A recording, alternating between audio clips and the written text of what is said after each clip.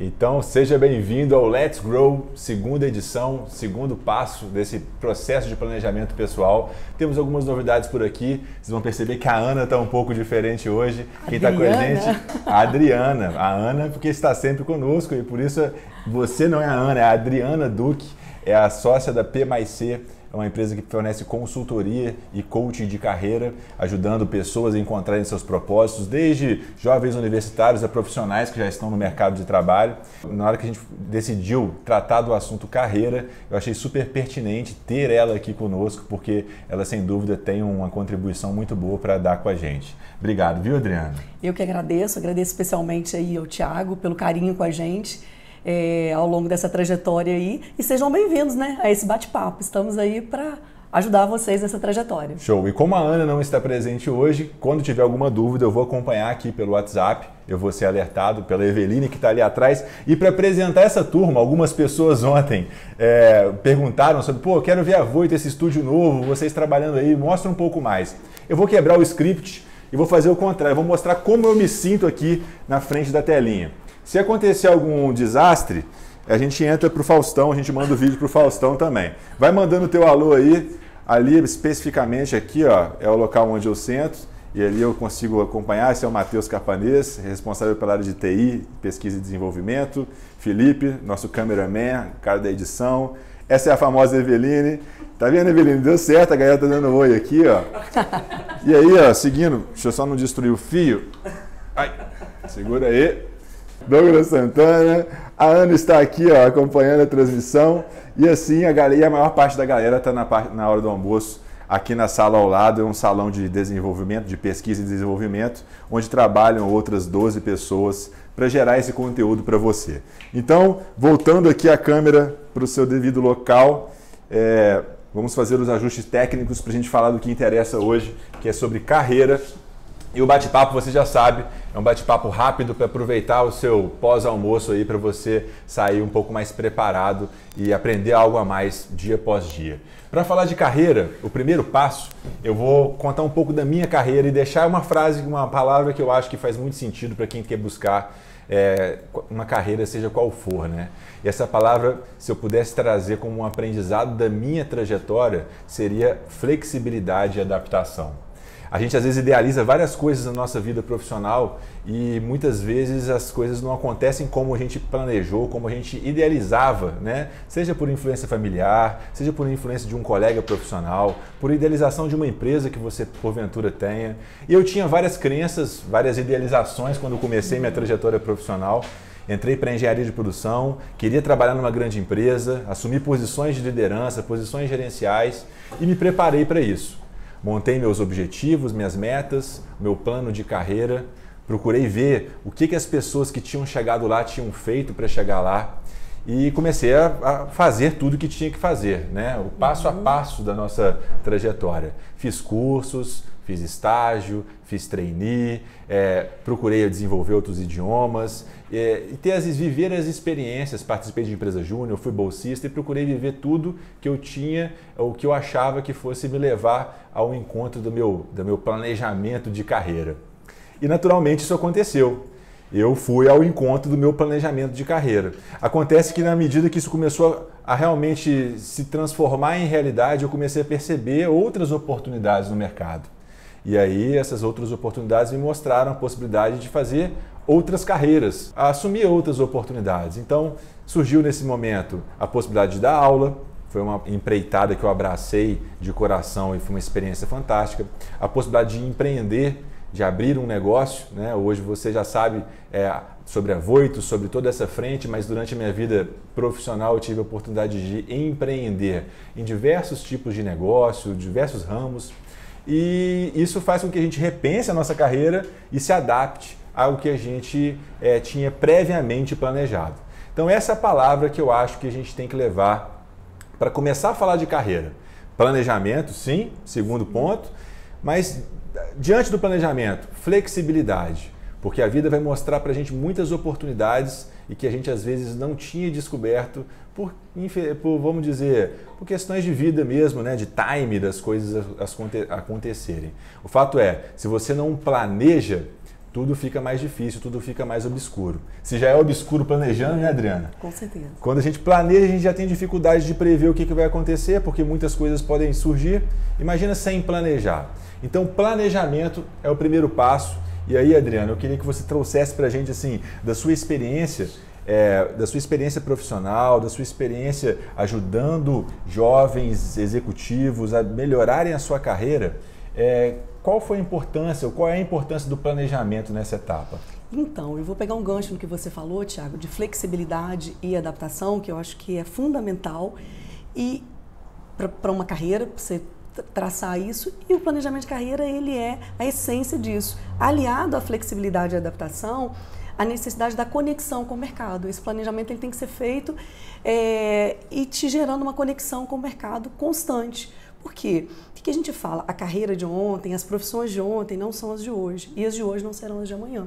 Então, assim, o planejamento ele vai te dar um ponto de partida mas é super importante que nós estejamos conectados com o mercado o tempo todo, entendendo os cenários, entendendo a, as mudanças, o que está ocorrendo no ambiente que a gente está inserido, na profissão que a gente está inserido e está se adaptando a essa nova realidade. Então, o planejamento ele é a base, ele é o princípio, porque senão você não sabe para onde você vai, qualquer caminho serve, né? Lá em Alice no País das Maravilhas já falava sobre isso.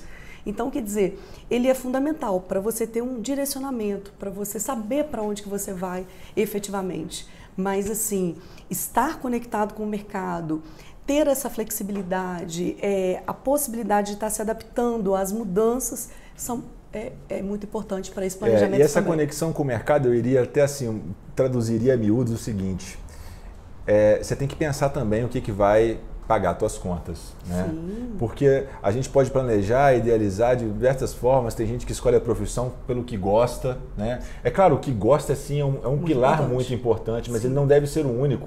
Algumas vezes a gente faz algo que não gosta para colher algo a, mais lá na frente, né? Eu trago como exemplo a, a, a minha faculdade de engenharia, quando algumas vezes eu fiz matérias que eu não gostava, de, que às vezes eu não via sentido. Sim. Mas, pô, eu passava por aquela dificuldade ali porque eu sabia que aquela dificuldade era momentânea, mas o benefício lá na frente ele poderia ser muito maior. E você precisa passar por aquilo ali para você concluir o processo, né? Justamente, então, faz parte. Faz parte. É uma etapa. Empreendendo aqui na Voito, eu fiz muitas vezes coisas que eu não gostava de fazer. Uhum. Por quê? Porque a gente sabe da responsabilidade, a gente sabe que tem que fazer o que tem que ser feito e muitas vezes o empreendedor assume papéis dos mais diversos, sobretudo quando a empresa é muito pequena. Eu brinco com a galera aqui que é o seguinte: hoje a gente já tem 45 mil alunos na nossa plataforma. Sim. Mas no início da Voito, nos primeiros anos, eu, eu, dono da empresa, emitia os certificados um a um no computador, e mandava para a gráfica e despachava para os alunos. E eu fiz isso até o aluno de número 3.500 aproximadamente. E aí foi o momento que eu comecei a ter uma equipe e comecei a distribuir as atividades e delegar, enfim. Muda, né? Mas a gente tem que se adaptar, né? Claro. A gente tem que se adaptar. Por isso a conexão com o mercado é muito importante. Você está ligado em que, que o mercado está oferecendo, o que, que, o que, que o mercado está pagando, para que você possa moldar a sua carreira com base em alguns aspectos. E eu vou passar alguns desses aspectos aqui, apresentando para vocês o conceito de Ikigai. Ikigai é, essa, é, o, é o ponto central desses quatro círculos aqui, que, são, que, que trazem a relação entre o que você ama, o que o mundo precisa, e aí vem a conexão com o mercado, é, o, que, o que você é pago para fazer, ou seja, o que o mundo precisa, mas o que, que o mundo está disposto a pagar, é, e aquilo que você é bom. Então, o que você ama com o que o mundo precisa é a sua missão. O que você ama com o que você é bom é a tua paixão. O que você é bom com o que você é pago para fazer é a sua profissão. E é, o que você é pago para fazer com o que o mundo precisa é a sua vocação. Quando você consegue encontrar o seu trabalho relacionando a sua paixão com a sua missão, com a sua profissão, com a sua vocação, você tem o estado de plenitude. E esse é o conceito japonês chamado Ikigai. É fácil? Não, não. Muito pelo contrário, é muito difícil. Né? Mas esse é um processo de autoconhecimento, de descoberta. Passa um pouco sobre aquele bate-papo que nós tivemos ontem, que eu mostrei para vocês o livro Descubra Seus Pontos Fortes a gente tem que olhar para dentro, pô, por que, que eu faço isso, cara? Por que, que eu escolhi isso? Será que eu escolhi essa profissão porque meu pai tem essa profissão? Será que o meu grande amigo tem essa profissão? Será que o empresário de sucesso que eu idealizo ou, ou, ou que, que, eu, que eu me espelho tem essa profissão? A gente tem que entender as razões que nos levam a determinadas ah, atitudes para que a gente possa é, passar por esse momento de descoberta muito claramente. E ontem nós falamos sobre isso na parte pessoal, né? mas na parte profissional, como que você pode descobrir? Olhando, estudando, entendendo o mercado. Ah, ah tem uma novidade. Break! Se liga na canequinha dela. Então agora você já sabe como você também pode conquistar uma caneca. Se estiver disposto a vir aqui sentar do lado e contribuir com a, com a rede, vai ganhar uma canequinha da execução, que a execução transforma o sonho em realidade. Tô levando a minha hoje. Aí, ó, já fica sabendo, fica a dica. Mas esse é o lance do propósito. E, e, Adriana, como é que é essa busca do propósito assim dos seus alunos, das pessoas que recebem o, o atendimento de vocês? Como é, é, é, é, essa identificação do propósito por eles? Então, esse é um dos primeiros passos num processo, né? Na realidade, a gente é, ajuda a pessoa a, é, é, a, trabalhar essa questão do propósito, do grande propósito dela de vida, né?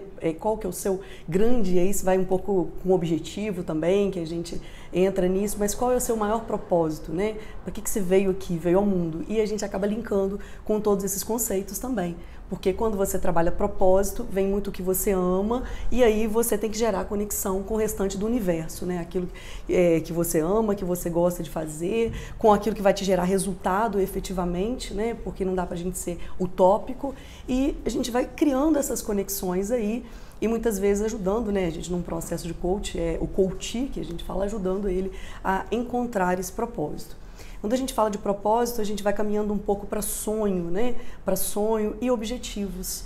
E a gente até fala um pouco a respeito disso aqui, né, Tiago?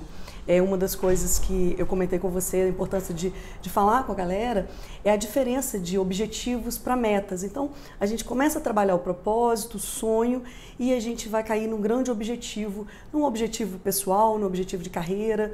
Só que as pessoas confundem muito é, objetivo com meta. É, a gente é, vai canalizar para as metas daqui a pouco, mas assim, o que, que, a gente fala? O objetivo é macro, é maior. Então, assim, é o grande sonho que tem a ver com o propósito, está atrás daquele propósito nosso. E é nesse objetivo que eu particularmente me inspiro e recomendo as pessoas se inspirarem também. Sim. Porque o dia a dia ele exige um desgaste de energia, de dedicação, de empenho muito grande. Mas quando a gente pensa que o que a gente está fazendo agora está doendo, mas vai gerar uma recompensa lá na frente, fica muito melhor, fica muito mais interessante. Temos uma pergunta, deixa eu acionar aqui meu WhatsApp. Deixa eu ver aqui a pergunta. Perguntas na plataforma. Rafaela Rosa, qual a sugestão vocês dão para estarmos conectados com o mercado? Algum site, plataforma vocês indicam? Eu vi dizer que tem uma empresa que, que é muito boa nisso, tá? Que mexe com treinamento na área de gestão, de desenvolvimento pessoal. Acho que chama Voito, depois você procura aí, Rafaela. Sacanagem. Mas olha, g1.com, tem que estar tá ligado, dá, dá, corre o olho no canal, na, nas notícias, valor econômico, sites que, que, que oferecem informação e entretenimento que possam ajudar você dentro da sua área de atuação. Sim. Né? É, se for um jovem universitário, um recém-formado ou início de carreira, eu gosto muito também do Na Prática, da Fundação Estudar. Legal. Eu acho que é um canal bem interessante, tem muito material, muito conteúdo relevante. Tem o site da P mais C, pmaisc.com.br. É isso aí. Tem o site da Endeavor, que é muito bacana Fantástico, se você busca empreendedor, empreendedorismo. Tem o site da Geração de Valor.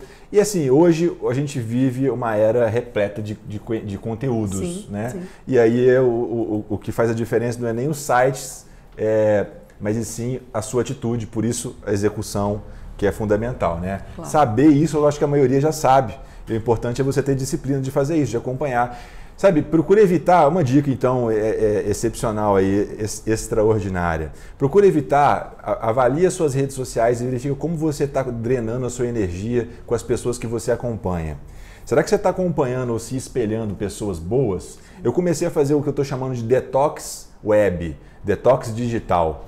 E eu comecei a descurtir ou desseguir as pessoas, vamos dizer assim, que não me agregavam do jeito que eu gostaria. Não é que eu não gosto da pessoa, não é que passou a ser meu inimigo, nada disso. Mas, pô, nosso tempo é limitado e eu prefiro muito mais seguir pessoas que me inspiram, que vão trazer coisas boas, energias positivas, que vão me conectar com coisas diferentes, sabe? É, empresários, empreendedores, engenheiros, pessoas que possam me agregar do que, aquele, do que aquela tiazona que vai estar lá discutindo problemas políticos e coisas assim. Não que isso não seja importante, claro. mas é claro, a gente tem que escolher onde a gente gasta nosso tempo. É né? isso também por uma questão de produtividade, né? Essa seleção hoje nas mídias sociais, nos, nos canais aí de maneira geral, Facebook, Instagram, ela é necessária por uma questão de produtividade, porque se você deixar, você vai ficar horas computa aí para ver o tempo que você gasta hoje é, direcionado aí para as mídias sociais. Então, quando a gente trabalha a produtividade, uma das estratégias é exatamente essa que você usa, Tiago. Aí é, o tiro é, sai gente... pela culatra, que você pode gastar tempo nas redes sociais que você está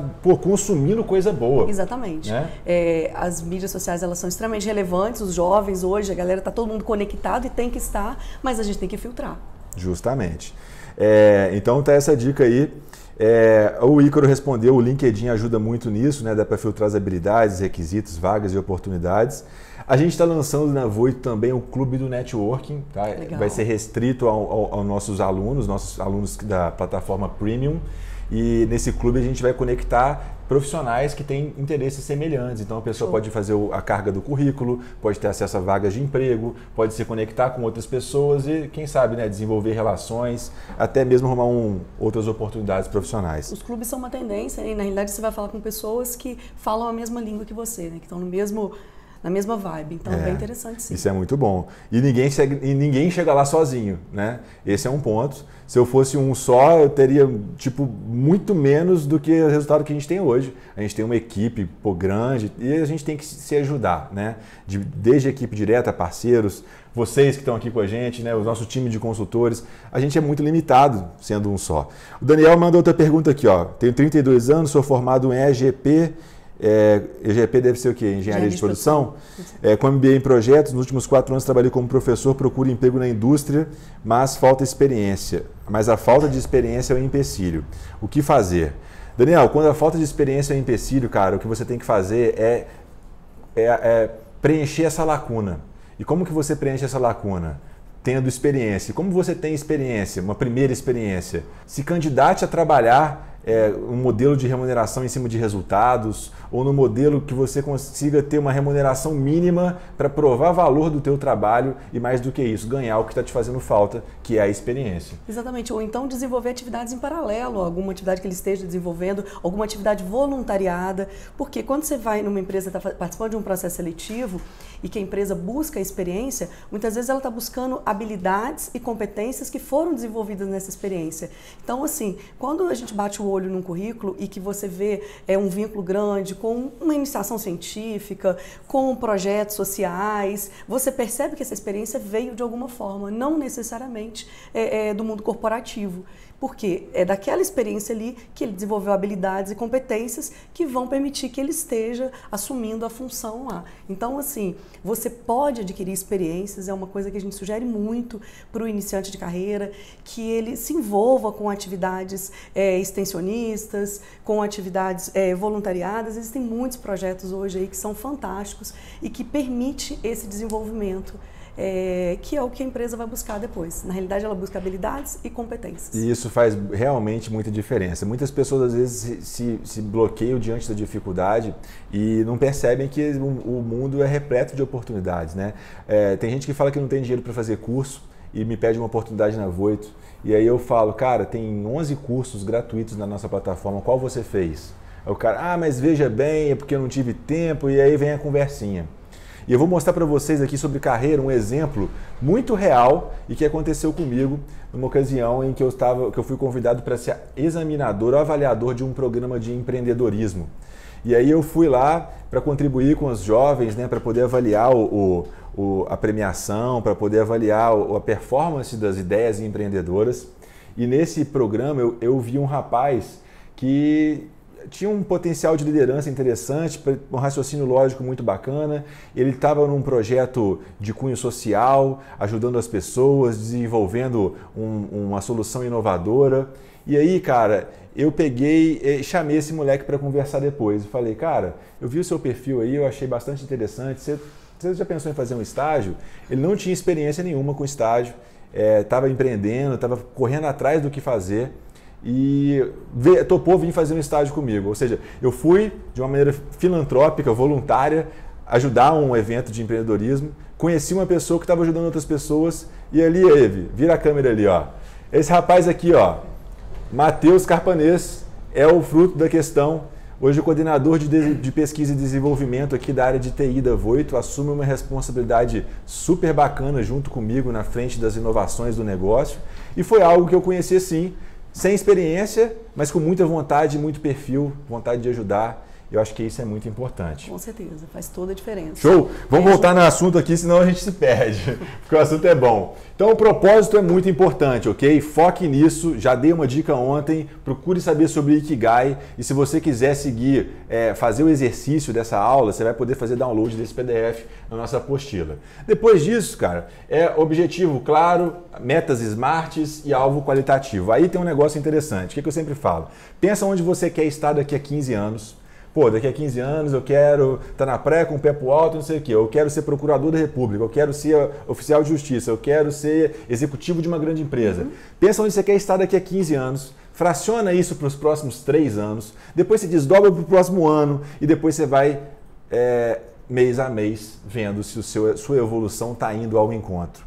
E meu amigo, te falo, meu amigo, minha amiga, uma, tenho a, infelizmente que te contar uma dura realidade o mundo, às vezes, o mundo tem uma velocidade de resposta muito mais lenta do que a gente gostaria.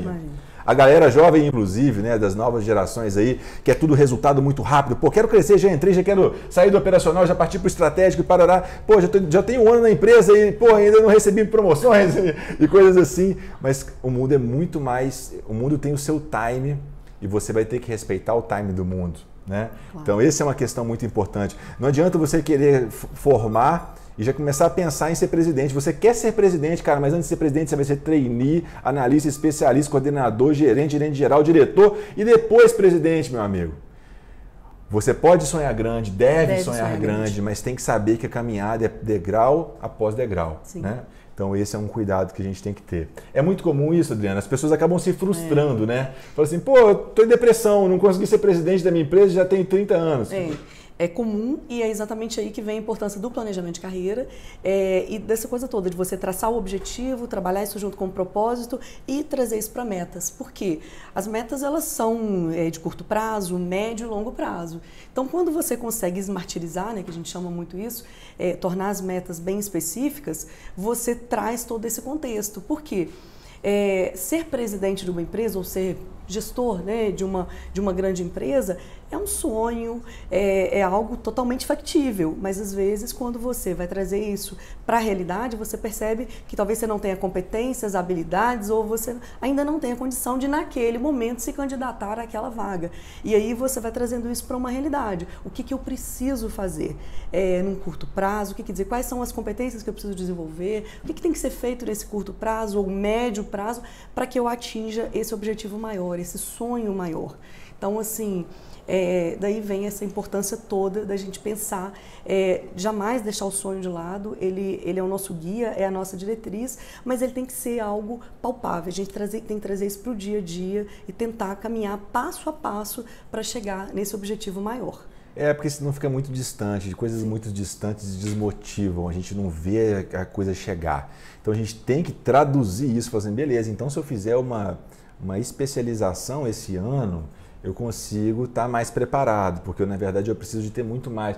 E aí fica muito mais fácil isso. Outro ponto muito bacana é a gente celebrar as conquistas né, que claro, a gente tem claro. também. Quando você falou da, da, especialização, por exemplo, assim, ou do cargo, uma coisa que a gente faz muito, às vezes, assim, começando um processo, é uma, uma etapa de modelagem. Então, a gente coloca lá o coach ir para o mercado e pesquisar cargos e funções é, que ele deseja e o que, que é necessário para aquilo ali. Quando ele começa a fazer aquela pesquisa, ele vai perceber, efetivamente, hoje, se você entrar no vagas.com, tem lá vagas disponíveis de tudo enquanto é área, de tudo quanto é função. Você vai ver quais são os pré-requisitos. E aí você começa a trazer isso para a sua realidade e perceber, bom, eu ainda preciso me desenvolver dessa, dessa, dessa forma. E aí você vai começar a traçar as suas metas e, e, de uma forma mais realista, efetivamente, porque você sai dessa utopia né, e começa a ser mais realista. O que não quer dizer que você não vai chegar lá. Você vai chegar sim, só com, com um plano um pouco mais palpável. Justamente. E sabendo já as competências que precisam, né? Ninguém chega à toa, né? Verificando quem está no cargo, né? E o que, que desenvolveu. Está. Quando eu estava na faculdade, eu tinha um colega que era um espelho, o cara tinha passado por presidência de empresa júnior, tinha conseguido bolsa, tinha conseguido estágio, já tinha conseguido trainee. E eu falei, pô, esse cara é uma referência. Eu cheguei nele e falei, amigo, Roberto, que ele chamava. Roberto, me peça seu currículo, cara, deixa eu ver seu currículo. E eu peguei o currículo do Roberto, cara, eu ficava assim, não tenho, não tenho, não tenho, não tenho, não tenho. Mas eu comecei a correr atrás de tudo aquilo ali. E naturalmente, quando você vai correndo atrás, você vai conquistando e as coisas vão, vão acontecendo. Vão o universo vai conspirando a favor. Tipo né? isso. Você está se movimentando, as coisas começam a acontecer efetivamente. Quando a gente executa, quando a gente Sim. fica sentado na, na, na, na zona de conforto, ninguém sai do lugar, né? A Rafaela mandou aqui, ó, como faço para ver o material? A tela está longe, não consigo ler o que está escrito. Rafaela, esse material está disponível na plataforma da Voito. Você pode entrar fazendo o seu login pelo aluno e lá você pode fazer download do material e obter o certificado de participação desse bate-papo. Então, já fica a dica aí e aproveita para isso. Se tem certificado, já aproveita e joga no seu currículo. Quem está em busca de experiência já vai jogando essas. Aqui é... meu amigo falou assim: o bate-papo está muito bom, mas a sua meia está melhor ainda. Ah. Então, já vou aproveitar e mostrar o novo look 2018, que, é, que são as meias da Baifiapos, eh, da Sublime. Então, deixa eu virar aqui, ó. É mole? Isso aqui, essa aqui é especial para o dia de hoje, para tirar a inveja e mal olhado, porque 2019 começou muito bem, então a gente está com força total aí. Mas enfim, meias divertidas vocês vão ver com frequência aqui nos meus pés. Patrocínio sublime. ah, e tem a meia da Voito também, é. A gente pode apresentar para a galera também. Aqui, ó, ninguém sofre de pé gelado, entendeu? Aqui a gente não tem esse problema. Vou pegar uma meia para você também, tá? Lembra disso. Então, galera, voltando ao nosso assunto, define os objetivos, analisa o seu contexto, verifica onde você quer chegar. E aí, matriz SWOT, pontos fortes, pontos fracos, ameaças, oportunidades, analisando o mercado para que você possa, é, de fato, entender a sua carreira é, da melhor forma possível. Resumindo o nosso bate-papo, porque o tempo já está finalizando. Se tiver outras dúvidas, a gente, a gente vai responder todos vocês. Mas, resumindo, a gente tem que pensar no autoconhecimento, na descoberta pessoal e, quando fala em carreira, olhar muito para fora. Muito para fora. Não adianta, não adianta você pensar num cargo ou numa profissão e querer ganhar muito, sendo que aquele cargo ou aquela profissão paga talvez menos do que você espera. Todas as profissões, todos os cargos, todos os cursos, existem pessoas que, que recebem mais e que recebem menos. Normalmente, eu não acredito em sorte, eu acredito em estatística. A estatística mostra que as pessoas que recebem mais são as pessoas mais bem preparadas, mais dedicadas, mais comprometidas, mais envolvidas, que mais se estudam, que mais se envolvem, normalmente.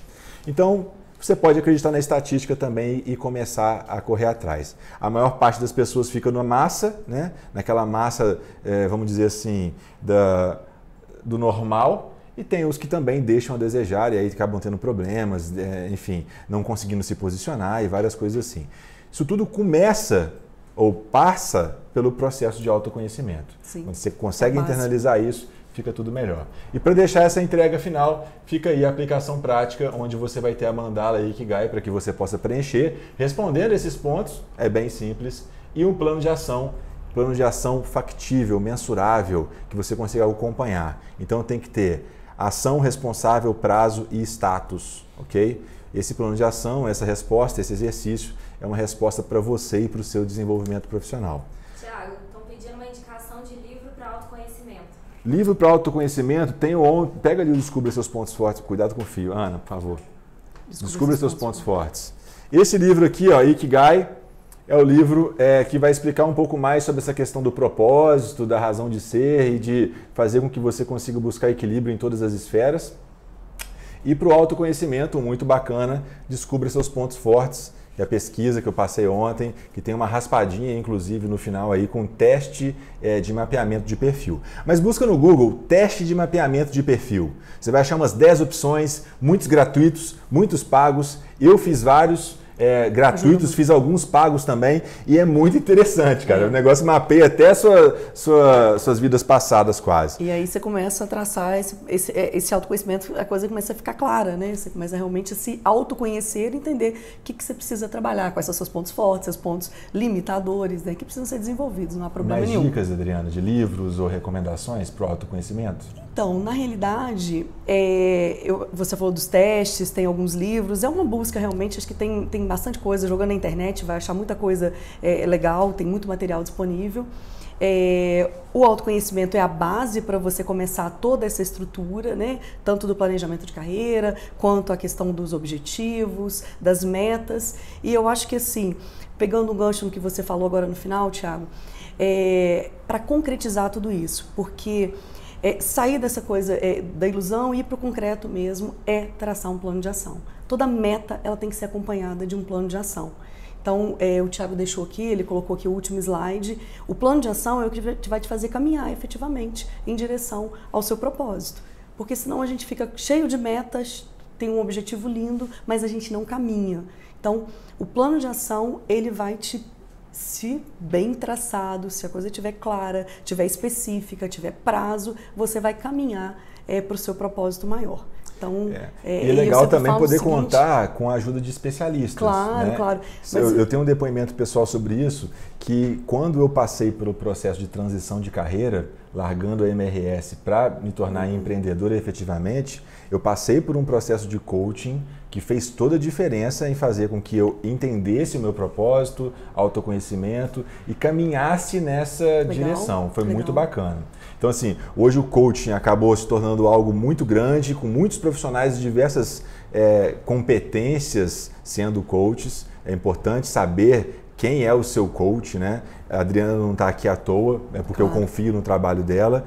Então esse é um ponto muito importante. Mas profissionais coaches bem preparados, realmente Sim. assim, é, que exercem a função com competência, podem ajudar muito você a facilitar a sua trajetória e a sua caminhada. Exatamente, até porque a gente não tem a, a, o propósito de dar uma resposta para a pessoa, né? A gente vai ajudar a pessoa a descobrir esse caminho através de ferramentas. Você vai auxiliando o coach a traçar esse planejamento a se direcionar profissionalmente. Então, assim, a busca de um profissional é, que tenha condições, um profissional aí capacitado para te ajudar nisso é muito importante. Deixa seu site então para facilitar. www.pmaisc.com.br P mais C. Isso. P mais, mais escrito. É. Mais... P de profissão, mais escrito e C de carreira. Show. Então tá aí, feita a dica, já pode te ajudar com mais essa. Mais dúvidas?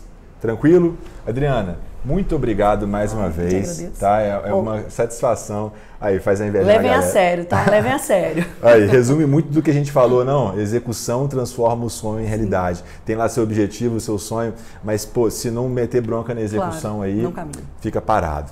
Então, gente, muito obrigado mais uma vez. Uma grande satisfação estar com vocês. Amanhã nós estamos de volta, mesmo bate-canal, mesmo bate-horário. 12 e 30, né? agora eu falo 12 e 30, não meio-dia e meia para não errar, 12 e 30 e vejo vocês amanhã para falar sobre planejamento financeiro. Vamos tratar algumas coisas aí para a gente começar 2019 com as contas equilibradas, porque esse é um pilar muito importante para que a gente consiga desempenhar bem todos os outros. Com né? certeza, para te dar suporte para caminhar, com certeza. Valeu, galera, um abraço e até mais. Sucesso, pessoal. Valeu. Show, Adriano. Obrigadão, viu? Uh.